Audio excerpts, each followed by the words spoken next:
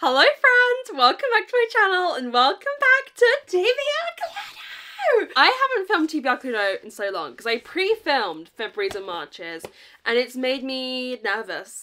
it's made me feel very nervous. Please don't make me think too hard about it because I don't know what I'm expecting and I just want it to be great.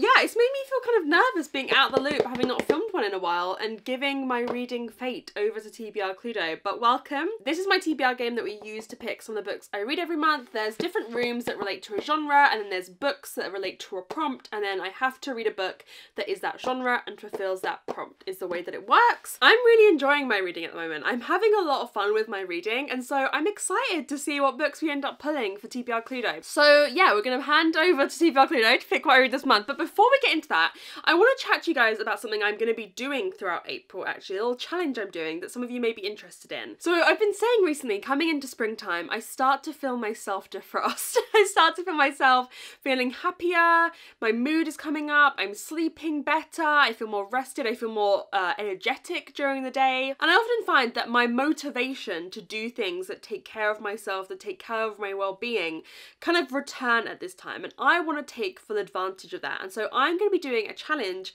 where I do meditation every single day for 30 days and I'm going to be using today's video's partner, Aura, to do so. And so if like me, you want to take advantage of this new feeling, I challenge you guys to come along with me, try doing this 30 days of meditation challenge and use Aura to do so. I cannot recommend Aura enough. I love it. Aura is a new mindfulness and sleep app that has thousands of meditations and stories and so much more like CBT, life coaching, breath work, and it has made such a big difference to me. I love the personality. There is so much variety in class types, in class leaders, in the types of courses that you can do on there. Aura for me is the perfect meditation and mindfulness app because of that variety, because you can really find something that works for you. There's a lot of options. There's lots of different types of meditation to try out. I cannot recommend it enough. Meditation for me makes such a big difference in the way that I live my life. It makes me a better person. It makes me a better partner, a better friend, a better daughter.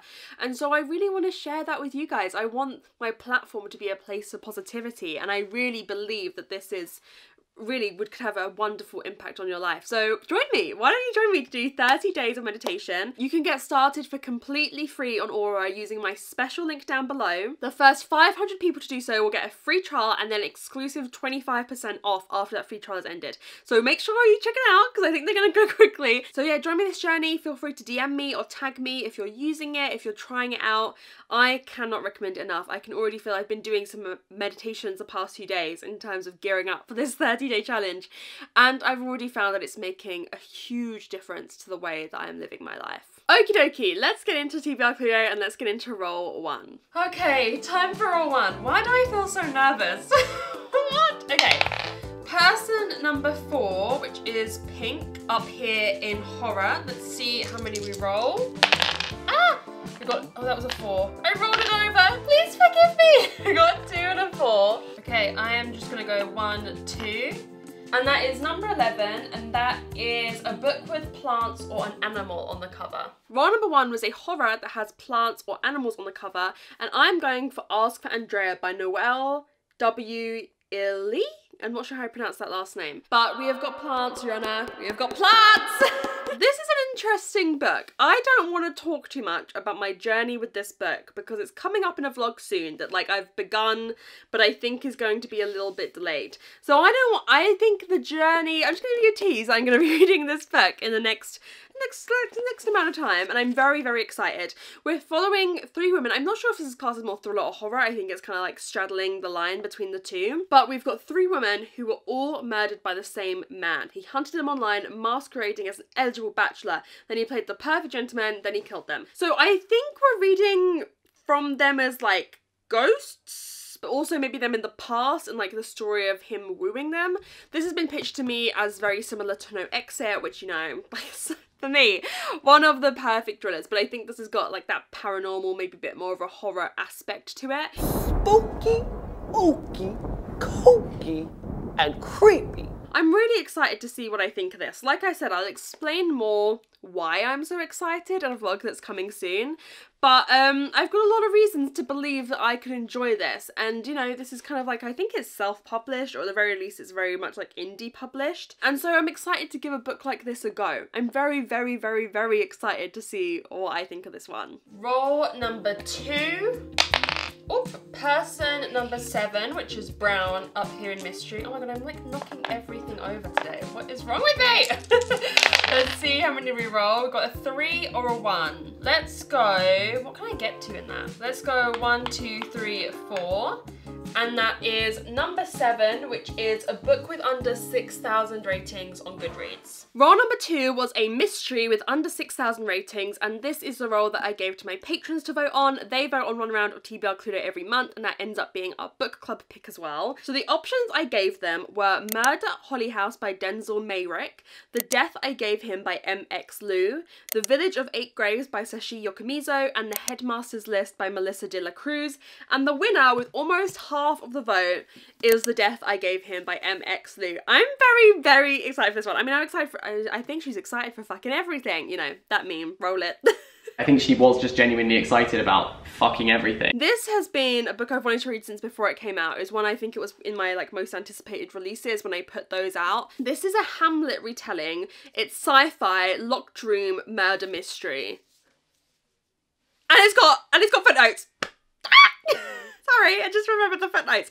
So we've got a character whose father is killed and it's like in a locked room with a lab on lockdown and this character is trapped with four other people who one of them is his father's killer and he has to figure out like what is going on how do i find out the secrets of this building? Oh my god. This is like giving me heart palpitations. Oh the footnotes. The footnotes are so gagatron you know what i mean? The footnotes are so gagatron and there's an artificial intelligence who is the protagonist's dear friend, dear God. So this has had, you know, a little lowish ratings. I think it's got like a 3.4 average rating, which isn't super high. But I do think it could be just some people not getting it, you know, some people not getting the vibe. I regularly read books that have got super low average ratings and I love them. I love them. So I think it's just some people failing to get the vibe and failing to like be one of the girls, you know what I mean? So I'm really excited for this. Sci-fi, locked room, murder mystery. I believe this is a debut, so I will give it like a little bit of leeway in terms of that. But I think this is going to be a very exciting book to read. Oh my god, I'm getting up on my tippy toes. I'm so excited. I'm intrigued to see how this kind of ambitious project comes to fruition. Okay, rule number three. Person number three, which is red up here in historical. See me roll. I've got one and two. I'm just going to go one and I'm going to get the magnifying glass, which means recommended by a viewer. Role number three was the magnifying glass, which means I have to go on my most recent All My Unread Books video, which I last did in November. I have to randomise the comments, and the first comment I get recommending me a book, I have to read it. anyway, so I'm in control, but I'm out of control, and I'm also um controlled. So in a way, I'm everything. I don't do this one very often because I find it a bit scary, but I guess we're doing it. Shall we just do it? I've got a random ra YouTube comment randomizer thing up. what am I hoping for? Who knows, honestly. okay.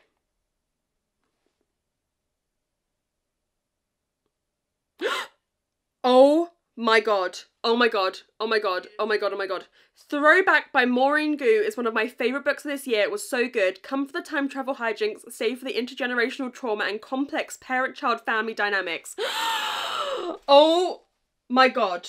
Oh my god. Thank you, Leanne? I'm assuming that's where where where sorry, I'm like I'm stressing out by the fact I have no idea where that book is. Okay, we've got it. I am so this was such a result. Buzzing! This is a book I've been like looking at recently and thinking, oh, I'd really like to read that. How am I going to fit that into a video?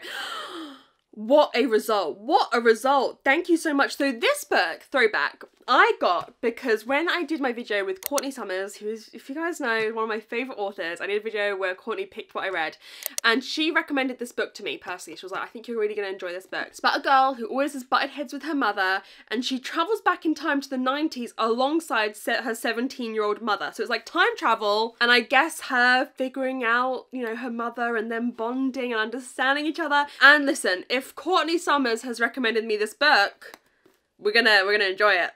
we're gonna love it. I this is such a result. Oh my god. I'm with with like ones like this where it picks randomly what I'm gonna read. I'm always worried that it's gonna be a book that I'm not as interested in. But this is one I'm so currently interested in. So thank you so much for the pick. I think this is gonna be a great pick and I cannot wait to read it. I think it's gonna be emotional, fun, light-hearted, but like serious. Oh my god. Yay! Okay, that's so exciting. Row number four. Person number one over here, which is green. I do quite a lot of fantasy to read. Oh dear. We've got a one and a four. Let's just go one, two, three, four, five. That is number three. What is number three? I have to scroll up. Hang on one second. Number three, oh fuck. Roll number three is start a new series. Okay. Roll four was a fantasy and I have to start a new series. You're joking. Not another one?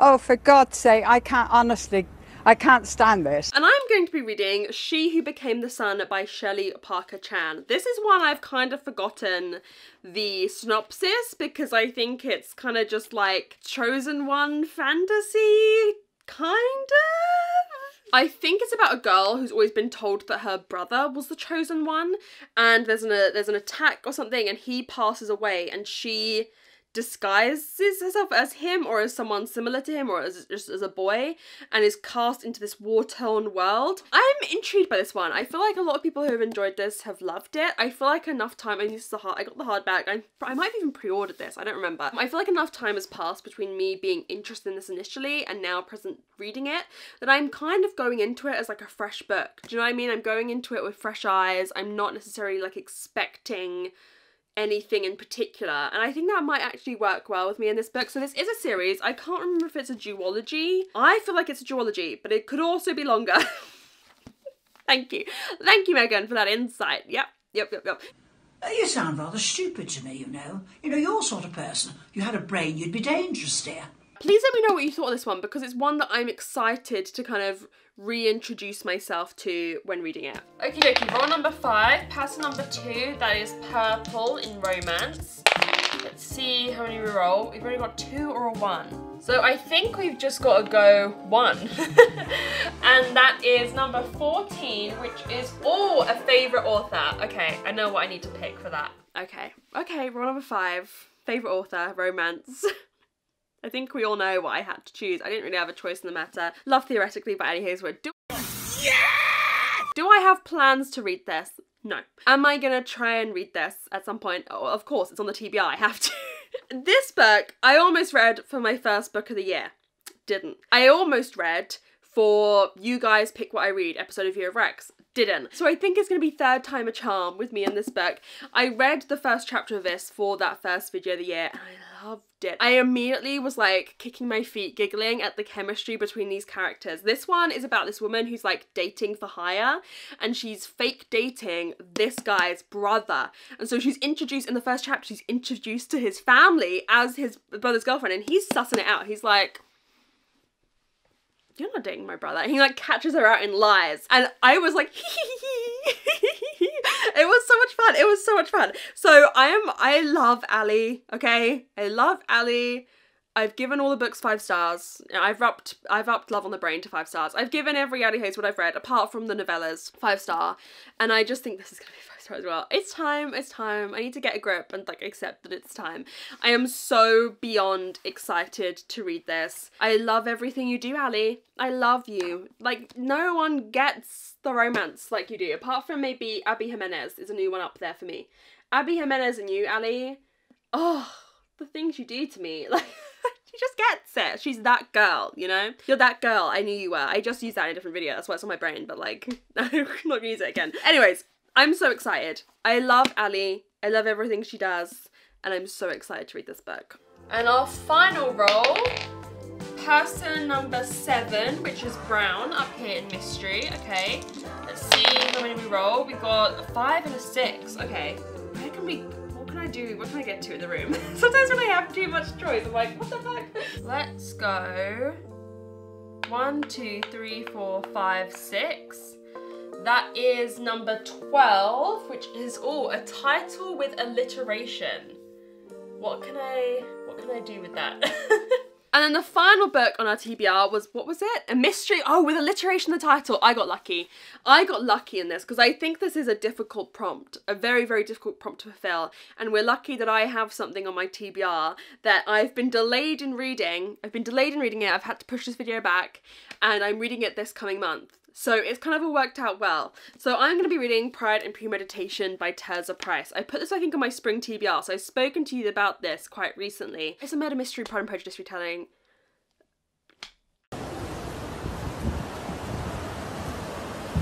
Aren't we all so excited? Yes, it's YA, that the writing is where we could fall down, but in terms of the plot, Oh my god, has a book ever been more perfect for me? I don't think so. So Lizzie and Darcy in this are both working as lawyers at opposing firms and there's a murder and they're both trying to solve it. I'm so excited. And so this is part of a wider series where there's two other uh, Jane Austen retellings that are murder mysteries. And then I think she's doing a spin-off series of this book. So I'm kind of starting two series by starting this, but let's forget that. I have a lot of hope for this one. I'm loving reading Jane Austen inspired things. A Jane Austen murder mystery oh, it just sounds absolutely perfect for me. I love the cover. I am so so so so excited for this. I have very very high hopes for it. So there we have it everyone. A nice orange and green. Apart from Ask for Andrea's kind of throwing the vibes off but like pink orange green. Nice. Let's just take Ask for Andrea out for a second because i really like the color coordination of this TBR. I'm like kind of eating it up. So yeah, please let me know what you thought of any of these books because I'm going to be reading them all very, very soon. Um, if you've gotten to the end of the video, comment an orange or green heart emoji. Remember to check out my link down below to start your challenge, your meditation challenge with Aura. Are you going to be doing along with me? Let me know. Let me know if you are. Thank you guys so much for watching and I'll see you very soon in another video. Bye!